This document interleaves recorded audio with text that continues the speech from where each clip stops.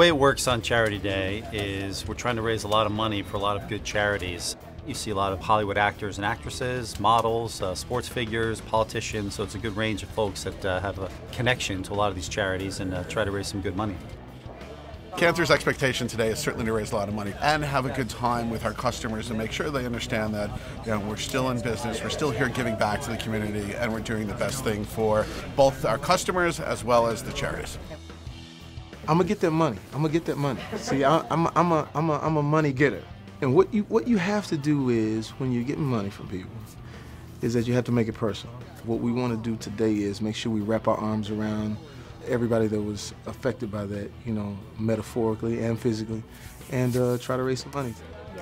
It really is a day that everyone wants to participate in, and I think there's a lot of generosity of, of, of time and of spirit and, and emotion, and so I think it'll be I think it'll be a pretty easy sell.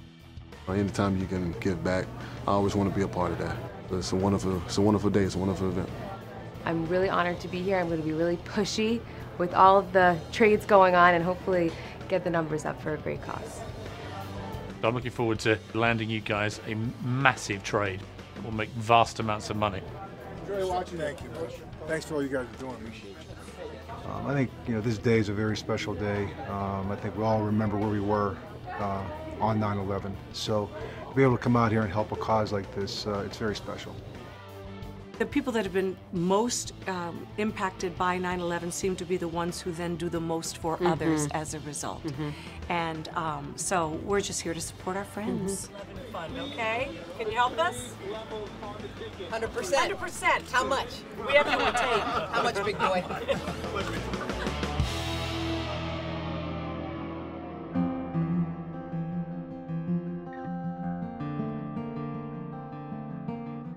Every celebrity who walks through this door understands what Cantor Fitzgerald and the Cantor Fitzgerald Relief Fund and memorializing those we lost means to us.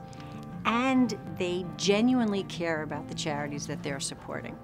And that's incredibly inspiring and uplifting to me. If you can take the name of a 9-11 victim and you can do an act of kindness in their name, then their memory lives on. And that's a wonderful, wonderful thing.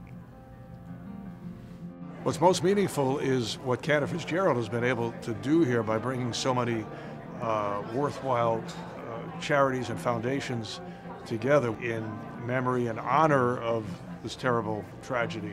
It's just incredible what has been done. Every year I'm here. And I want Cantor Fitzgerald to continue this for as long as there's a need, which will mean forever. Howard made an amazing statement on 9 11. He said, We're taking care of the families, we're doing it. The fact that somebody actually followed through on what they said they wanted to do, to me, that, that means everything. And when I leave here, I go to a memorial service. And I remember my brother Gary, and I remember our friends and our colleagues. And I will throw my arms around the families that I have come to know and love and to think of as my own family. And we will grieve together. But we will grieve together knowing that earlier in the day, we did something really good for the world.